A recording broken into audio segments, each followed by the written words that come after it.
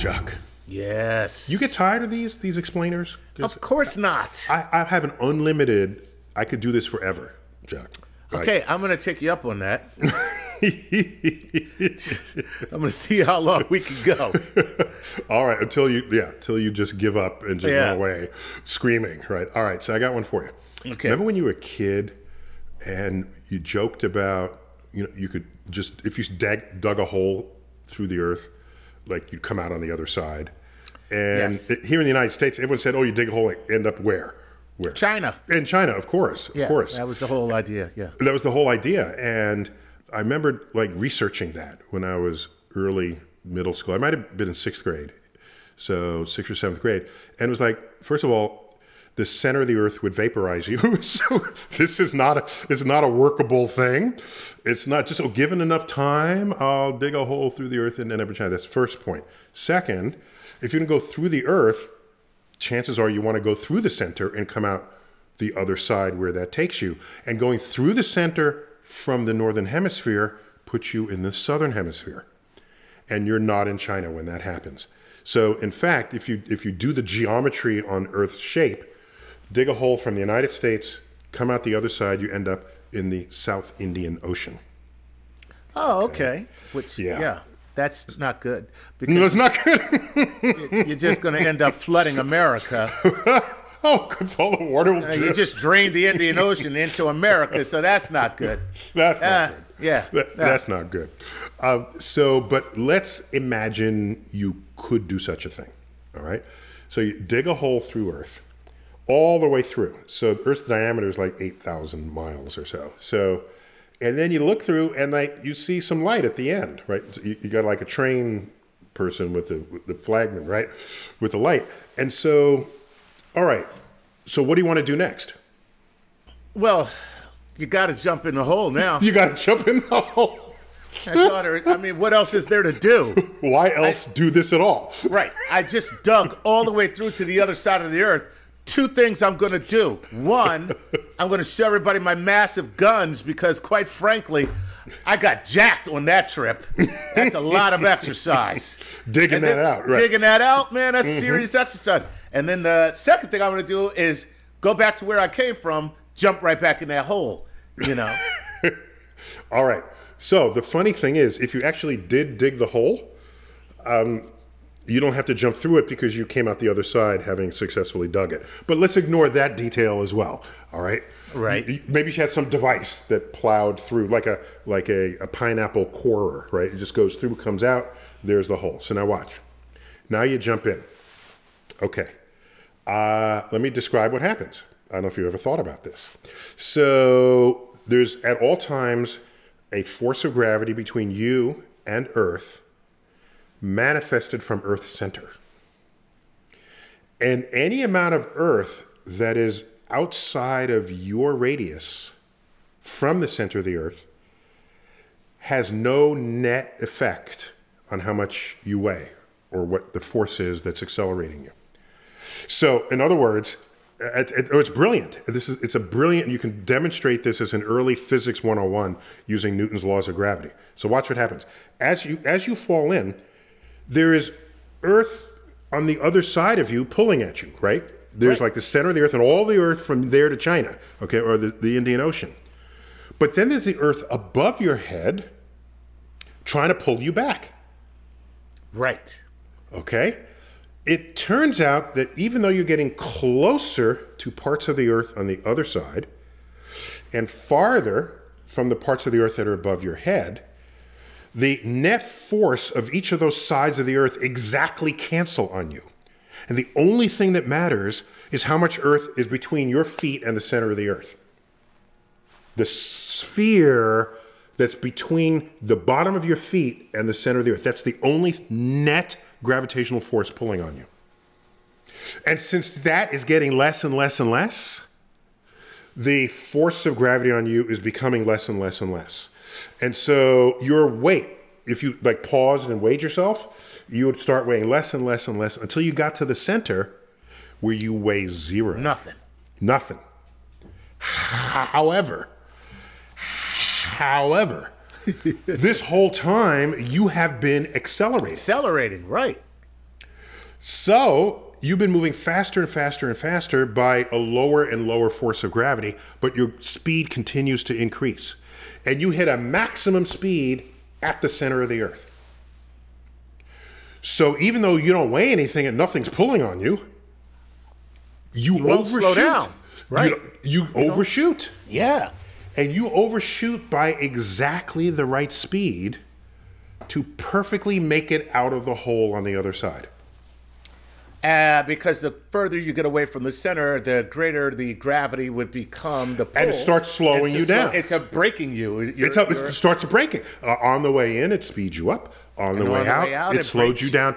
And it's a perfect, uh, ignoring air resistance and monsters in the center, you know. right. Uh, right. and, and, and, the Morlocks and right.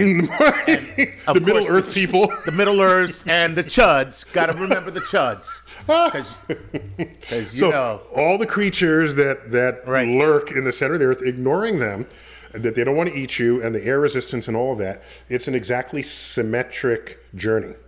The speed up to the middle, the drop in your weight as you pass through the middle till it's zero, the increase in your weight, and the and the uh, overshooting, the decrease, and right when you get to the other side, if nobody grabs you, you'll fall back down the hole.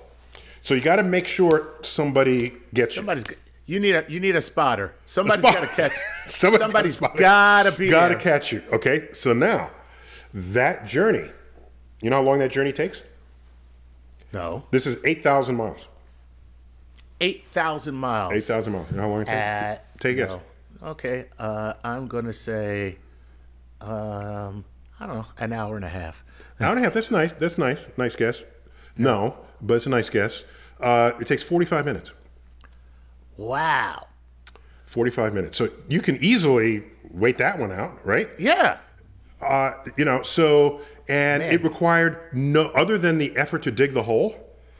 The traveling the eight thousand miles was completely exploiting the force of gravity, Gravity. not only to speed you up but also to slow you down. You didn't need Oh brakes. my God! It's the best log flume ride ever. Log flume exactly. Just cross your arms and go for it. Go for it. Exactly. So, uh, so now, uh, so let's say nobody does grab you, and then you come back.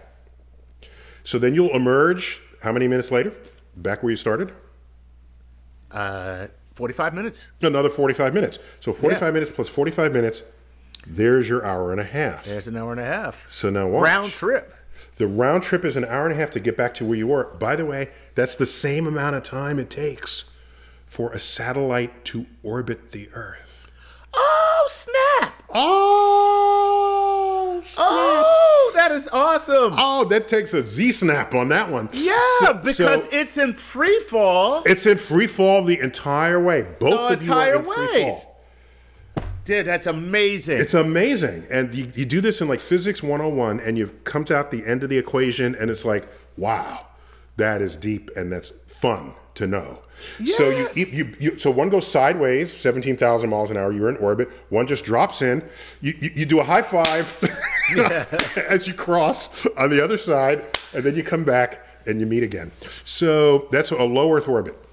We'll get you that. So now, if you don't want to use fuel to get from any one place to another, what happens if you just simply dug holes between any pair of places on Earth, whether or not you go through the center? So here we are on the East Coast. Let's dig a hole through the Earth to California. It won't go through the center of the Earth, no, because it'll just it'll cut through sort of sideways a little bit, all right? But it's still a hole, all right? How long will that take? If you do the math, it turns out any hole through the earth across any distance between any two points is 45 minutes. what? Ladies and gentlemen, meet the concept of the gravity train. Dig a hole between any two points and it'll take you 45 minutes to cross. You do the math, it's 45 minutes. So it's not useful to go from like, you know, Jersey to Manhattan. Even, you might as well just get in a car and do that because the hole, it, it doesn't work. The hole's got to get deep. And, all right, so here's a, a problem. If it goes through the center of the earth, you you can just jump in you don't need tracks. But if you're sort of not going through the center of the earth, you need a really low friction rail system that you can fall in on. And so you need low friction because friction will eat up your energy and then you won't make it to the other side. Right. So that's a gravity train. That's what happens if you jump through. Again, ignoring the Middle Earth creatures, the monsters, the, tro- the you know the the undersea trolls, Right. and all the rest. And you're right, and the, and of course the chuds, because there goes the neighborhood once you see them. So I, I- hope I settled that for you. That, that is cool, man. It goes back to elementary school for you. Yeah. Well, I, I wish they had taught me that in elementary school. I might. Then what might would you have a- done? I might be a scientist now. this is a lament. okay. If only they had taught me about the gravity train. Damn it! So, but what would happen is you, the whole er- world becomes Swiss cheese, right? And how would you get the hole through the magma? You know, all the places that feed volcanoes. You know, there are details that are not entirely worked out, but in principle, this can work. If, for example, if you had a completely dead moon with no plate tectonics or anything, because you don't want like continental plates to shift while you're en route, closing the hole. Guys, uh, looks looks like we got a road closer up ahead, guys. Closing. Um, fortunately, that means we're all going to die, and uh, that's it. you know, was stuck with the with the Right. Middle Earth monsters. Yeah, So, all right, that's all. That's all. I love it.